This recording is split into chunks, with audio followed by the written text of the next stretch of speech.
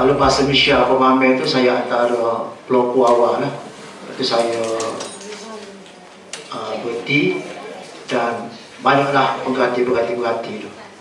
Dan memang program Zoom ini bagus untuk pelajar-pelajar kita bagi uh, kemajuan eh, atau kecemerlangan subjek dalam bahasa Inggeris.